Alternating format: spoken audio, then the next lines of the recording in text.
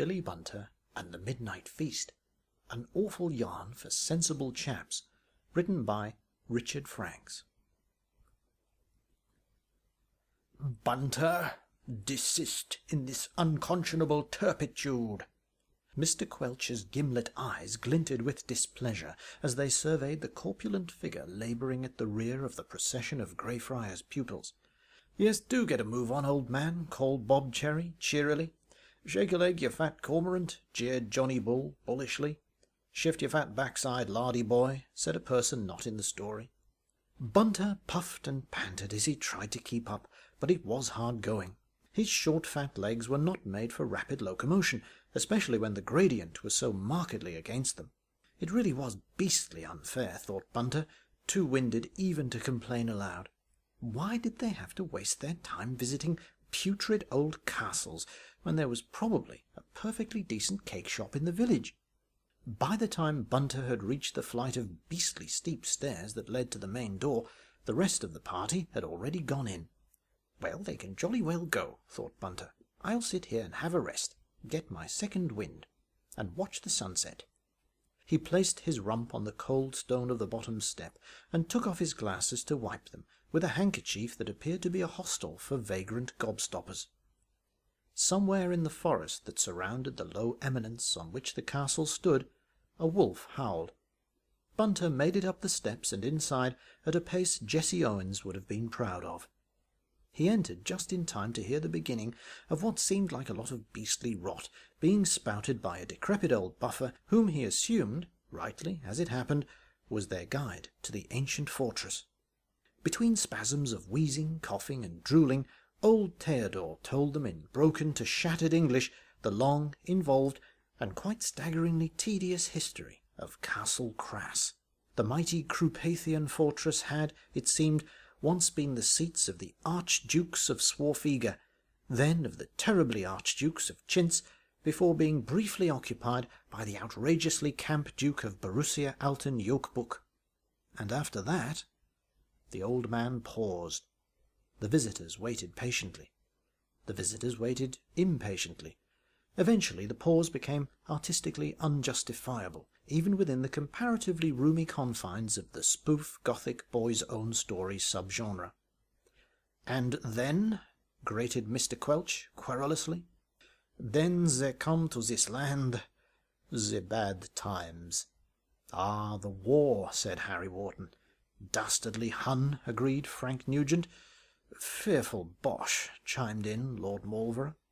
The most dastardly militarist expansionist policy pursued by the post-Bismarckian empire of the naughty and large-moustached Kaiser Bill, concurred Hurree Jamset Ram Singh. I say, was it the Germans? piped Bunter.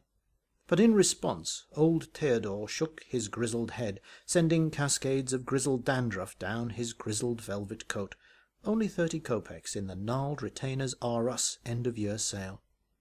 Silently, he pointed to a painting that hung in a shadowed alcove.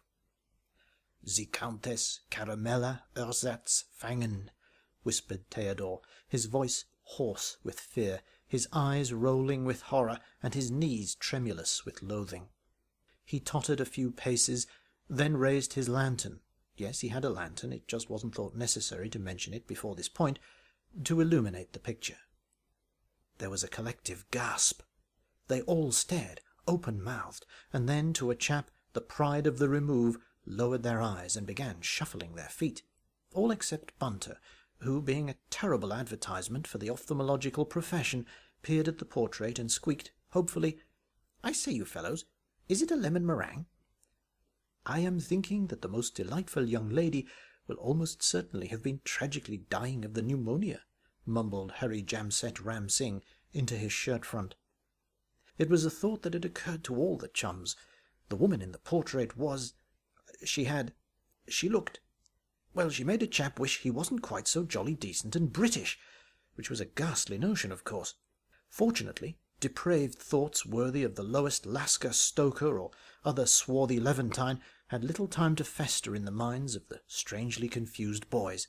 Mr. Quelch, his darkly saturnine features paling redly, stepped smartly in front of the canvas.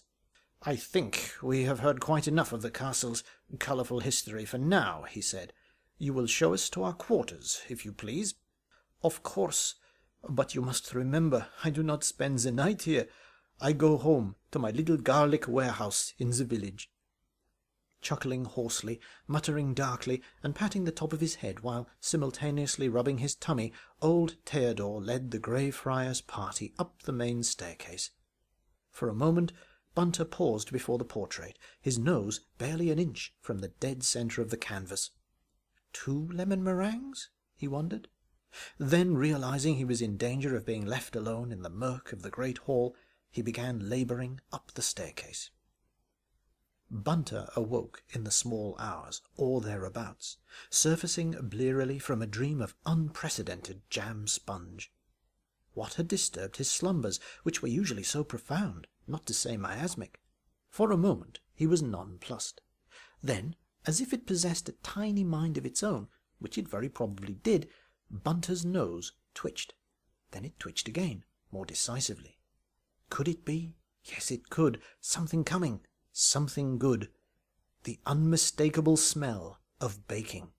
A pastryish, treacly sort of smell it was, wafting from who knew where within the ancient fortress, through untold miles of corridors, under Bunter's door, and up the most carbohydrate-sensitive nose in the Anglo-Saxon world. He climbed out of bed, put on his spectacles, wrapped himself in his dressing-gown, and set off in quest of the source of the delicious odour. I say, you fellows, hissed Bob Cherry, shaking awake Harry Wharton, Frank Nugent, Johnny Bull, Lord Mauleverer, and Hurree Jamset Ram Singh to save us all a bit of time. Umph, get off, what is it? they all said.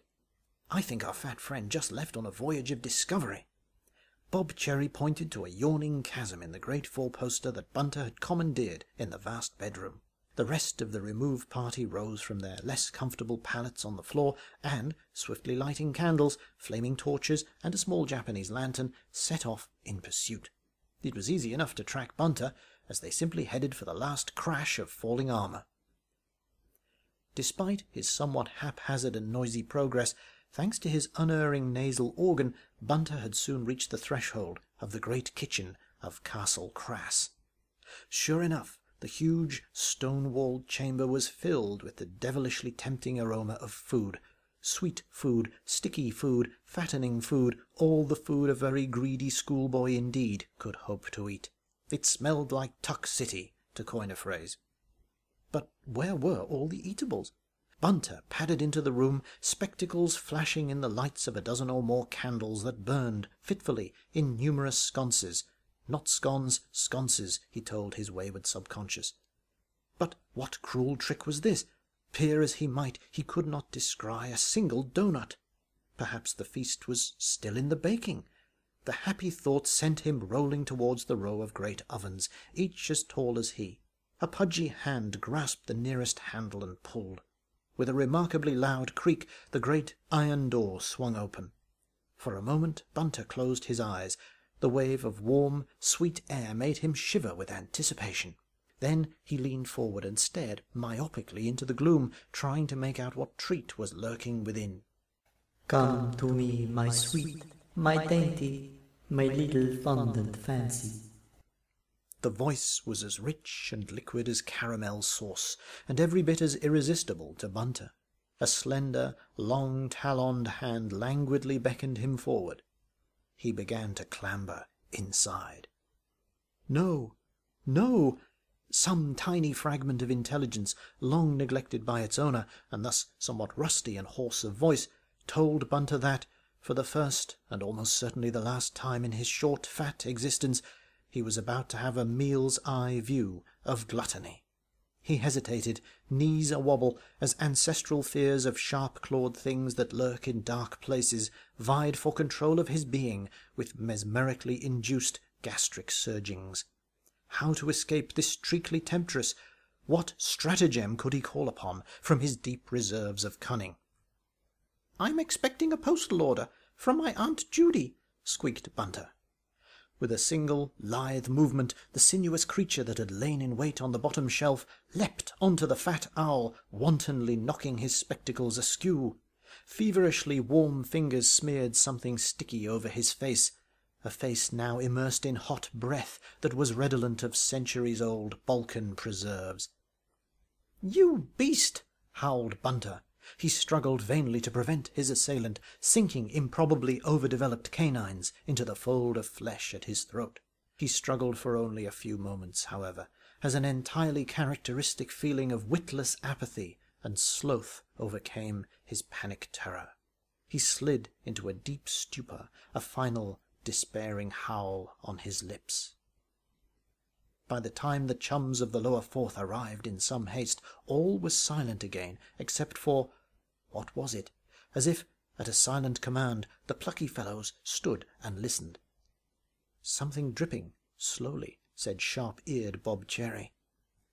And it's in here, added Harry Wharton, striding without hesitation to an oven whose door he wrenched open with the sort of manly decisiveness only possible if all your forebears had married cousins.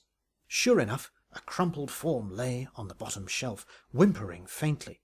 A trickle of blood, or was it strawberry jam, flowed thickly onto the stone flags of the kitchen. By George, said Lord Mauleverer, forgivably lapsing into strong language in the heat of the moment. Meanwhile, Harry Wharton and Frank Nugent had hauled the semi-comatose form out into the light. Then the chums stepped back in horror, as well they might, for while the immense checked trousers and voluminous blazer were indeed those of the William Bunter they knew, the body within those garments was another matter entirely. Who is responsible for these unauthorized nocturnal perambulations? The voice of Mr. Quelch recalled the pals to themselves. It's Bunter, sir, began Bob Cherry. He's been sleepwalking, you see, and now he's... Thin, chorused the entire company, including Mr. Quelch, who now stood over the recumbent form. It was indeed the case. It seemed that Bunter had been totally deprived of every trace of tubbiness, every peck of padding, every bit of bulk. Now the slim owl stirred and opened his eyes. I say, you fellows, I've just had the most beastly nightmare. The next evening the Greyfriars party left, having obtained lodgings in the nearby village of Zentral Casting. It was a subdued group of chums indeed who boarded the char-a-banc at the castle gates, apart from the newly reduced Bunter, who protested volubly at having to hold up his trousers with a large safety pin that recalled the flamboyant inefficiency of the Habsburgs. None of them dared to look back at Castle Crass. None except Mr. Quelch, who surely let nothing ruffle his grim composure. Perhaps, but later the chums would whisper of the way the master had turned to look back at the castle, only to quickly revert to his original posture and stare fixedly at the roadside trees. Was his normally cadaverous face a little more deathly pale than usual? Perhaps, but who could blame the best of men for blanching at such a sight?